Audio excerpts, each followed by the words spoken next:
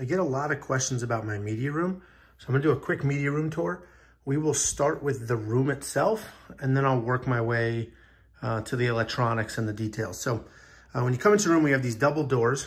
Uh, we come into the room and here's a full view. So in the front of the room, I have a 75 inch uh, Vizio and we'll get into that in a minute. On the side of the room, I have a, a 55 inch uh, TV mounted. We have our candy set up, our marquee, all of our chairs. There's the media closet. Uh, we have this little light and then we're back to the doors. So let me, let me come around. So here we have a large chalkboard. Um, we watch quite a bit of fights and we do quite a bit of gambling and betting and DraftKings on those fights. So uh, we haven't updated this chalkboard in a while because we moved away from that format, but um, my buddy and I would pick fights, uh, bet on the fights, and then uh, we were keeping track of winning and losing here. So in the front of the room, let me back up for you. In the front of the room, the main TV is a 75-inch Vizio M-Class. Uh, so it's a 4K Dolby Vision TV. Vizios are my favorite mid-range televisions. They're not super cheap. They're not super expensive. Uh, but for the money, you get some really solid quality. This TV is actually a few years old. Um, I was going to do a projector in here, but I decided um, ultimately TVs are just clearer, brighter. And uh, I'm probably not going to upgrade this until, you know, uh, 90, 100 inch TVs um, are more readily available. I'm seeing 86 inches for dirt cheap, but I'm going to wait till they're a little bigger. Um, on the left and the right, we have large floor standing Klipsch reference Premiere speakers. Um, I'll link everything in the description. Uh, these look great and they sound great. The center channel is the another Klipsch reference premiere. That is all of the speakers. Uh, that's the brand we use for all our speakers. So we have left, right, center. And if we turn around, go to the ceiling, I have two in ceiling Klipsch and then two in wall Klipsch. So this is a full 7.1 um, .2 Dolby Atmos system. Uh, you'll see the flashing lights. So I have a Hue Sync box, which I'll get to in a minute in the media closet. And I have a bunch of different lights behind the TV under the floating console here and on the side. This floating console is IKEA. I'll link to that as well if you're interested. So we have, as far as light sync is concerned, we have these play bars. I have one on the left, one on the right. If we go behind the TV, you see there I have one on the left and one on the right of the TV. Above the TV on the back is a Philips Hue light strip. And then underneath this console is a light strip as well. Okay. If we come to the right, that door just goes to the attic. We have these two wall sconces, which I eventually have to replace because they just don't make sense in here. But those are um, Philips Hue bulbs as well. This TV, so I mentioned this is a 55 inch, uh, another Vizio 4K Ultra uh, HD TV. This TV is a smart TV, so it has a bunch of apps built in, obviously, but I also have an HDMI cable, fiber HDMI cable running from that TV around the outside of this room into that closet. And when we get into the closet, I'll show you all the electronics, but what you're seeing here is I have a, a homemade arcade using um, Launchbox and Big Box as the software. And right now, this is just in what they call attract mode. It's just going through all of my consoles, all my systems, and it's just, you know, looking pretty doing a design. But um, this is a full-blown arcade with tens of thousands of games built into it, and, and we play it all the time. What's really nice is it's usually on the main TV. So on the main TV, you will play all the old school games. And then on the right, on this TV here, that's usually the marquee. So if you think of an old school arcade, you have the television, the joysticks, and then above it is like, you know, the, the big image that says Street Fighter. And that's usually what we do here. But also, just last week was the Tyson Roy Jones Jr. fight and UFC. So we started off the first half of the night with UFC on the big TV, that boxing card on the small TV, and then as soon as, as Tyson was ready to go, we, we swapped those TVs. So uh, we have a lot of, I have a lot of flexibility in what we watch on each screen, depending on the situation, especially for football Sundays. When we come to the back of the room, we have our candy, uh, our two candy cabinets, one on each side.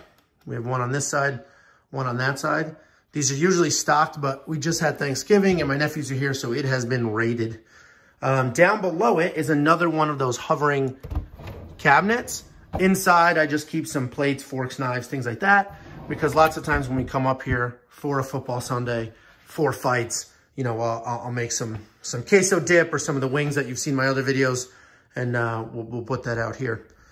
This couch in the back, it's fully reclinable. The cup holders light up, they're LEDs. The middle folds down with electricity. Same with these two reclining chairs here. They're loaded with LEDs. They're electric recliners and all that.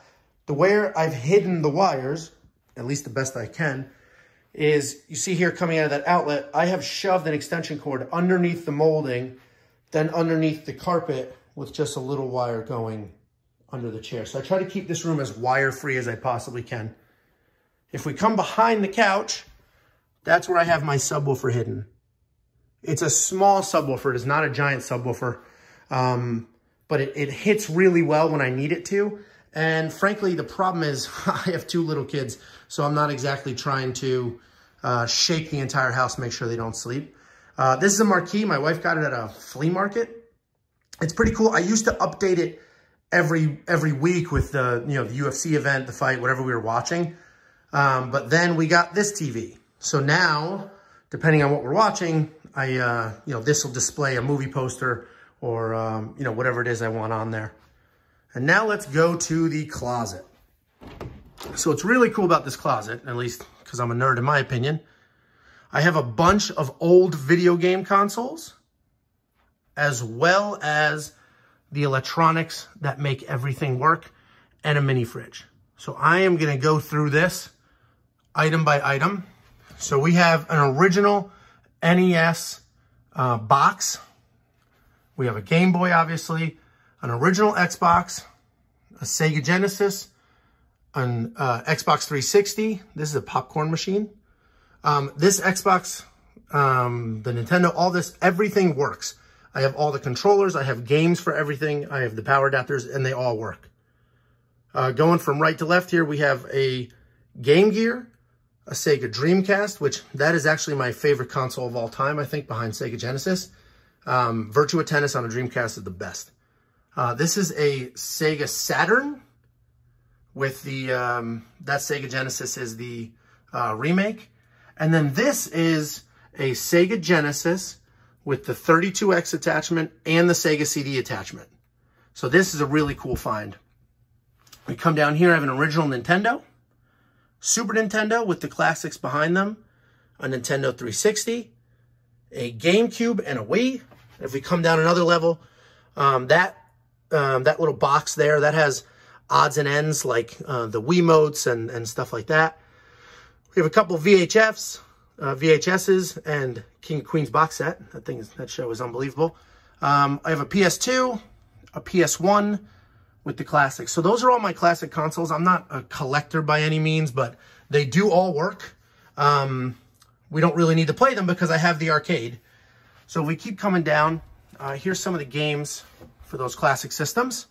Here's my receiver. So this receiver here is a Pioneer Elite it is a Dolby Atmos ready receiver, full 4K, Dolby Vision, Ultra HD, and all that. And this is what's driving the audio, obviously. And then above it is the Dolby, or, sorry, the Philips Hue sync box. So the way I have this set up, so for those lights to sync on the TV, I have all of my streamers here.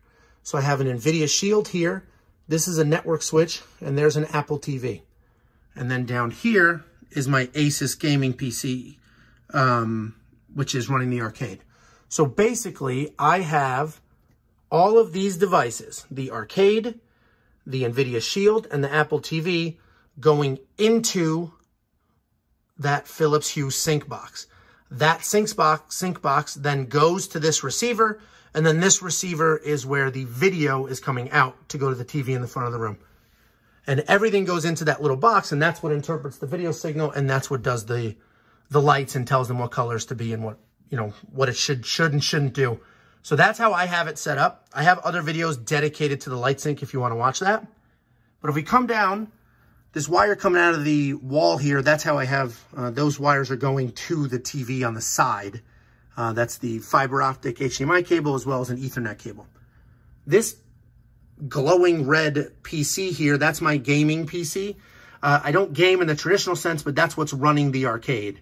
So that's, um, you know, that's what we play all of our retro games on, and that's what's hooked up to the TV. This is a small mini fridge. Just got some beers and waters in here. And then here I have, it might be hard to see, but those are two uh, 8 gigabyte or 8 terabyte external hard drives that I have uh, the arcade on. The arcade is probably 14 terabytes uh, of data. So I have that on those hard drives. This little thing here, this Retron 5, that plays old school video games. It plays five different types, um, Super Nintendo, Nintendo, Sega Genesis, uh, Game Boy, and Game Gear maybe. And um, what's really nice about that is it has HDMI out, and I don't, if I do want to play an original cartridge or an old school game, like I have Galaga in there right now, we can just play it right from there. I don't need to pull down one of my other systems. On the right in that box is a Super Nintendo Classic, but I've modded it. So it's a Super Nintendo Classic with the full Super Nintendo library. So every Super Nintendo game um, is on here. And, you know, it's the mini console and the two controllers. So actually, we will use that every now and then. Uh, I have a TV on a rolling cart that we'll put outside and watch, you know, watch TV or play video games. And here's the full Seinfeld DVD box set. And I just bought those, not because I watch DVDs, but I just bought those because, um, you know, they're really cool boxes and I love those shows. And here I just have some wall mounts for the remotes. This one is specifically for the Apple TV remote. This is a universal controller, you know, remote wall mount. I'll put a link in the description. It's really helpful. And we have a couple of these and I just have the remotes sitting in there so they're not all over the place. And if I come to this side of the closet, here's where we keep the Xbox 360 controllers. This is what we use to play the arcade. And then here is my uh, keyboard mouse combo for the arcade as well. And then a shotgun if we want to do buck hunter and things like that. And then there's just a remote for the fan. So I keep it all tidy and organized. Everything serves a purpose. We keep it as spotless clean as possible. And uh, this is where we spend a ton of our time. Playing video games, watching movies, uh, and doing all that. If you have any questions or anything, let me know. And actually one last thing I'll show you very quickly is behind the TV, Here's a handy little, um, this right here is actually a remote holder. And this remote is for this TV. And actually we keep those behind all of our TVs in the house because it's handy. You don't lose the remote and you don't have to shuffle around. You know, what is this for? What is that for? I used to have the full Harmony hub and all of that. I just found it was more complicated than I needed because we use CEC. So when I turn on the Apple TV, it automatically turns everything else on. So one remote turned everything on, and when I turn it off, it turns everything off. So there's no real need um, to have that giant universal remote. Let me shut the lights off for you so you can get a better feel for the uh, for the light sync. And we'll, we'll let this uh, we'll let this move on to the next video here. But you know, all in all, we we spend a good amount of time in here. I would say most of the time that we spend in here is actually um, it's actually spent watching fights um, than it is playing games. But uh, we do all of the above. So Here's just a quick Dolby demo that'll walk through, you know, a couple different scenes to, to showcase the lighting.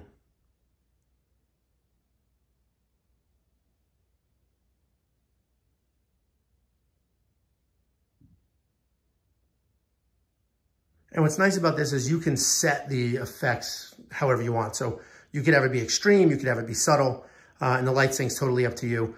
This is extreme. We don't actually usually watch stuff extreme. I like subtle light changes and, you know, just ambient light uh, to enjoy whatever we're watching. I don't want it to be a distraction. Um, and, and the camera is picking up hot spots. So basically, you're seeing the glow on the wall um, from the TV or from the side of the TV and things like that, those lights. In real life, I'm not seeing that, but as I look at the screen here, I see that you see this hotspot. So it's pretty clear, it's pretty clean. Uh, they've released a light strip dedicated to the TV with a bunch of zones. I haven't got it yet. A bunch of people are having problems, so I'm going to probably wait uh, a little bit till they sort that out. But here's our media room. Um, you know, like I said, we spend a ton of time in here. We really enjoy the space. We live in Texas, so it's a dedicated room.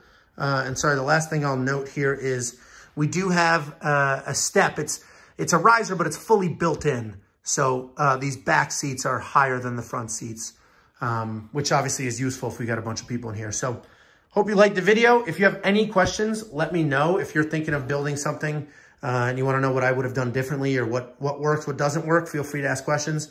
Um, and I will have links in the description for everything you saw here, or at least anything that I can, that I can possibly link to.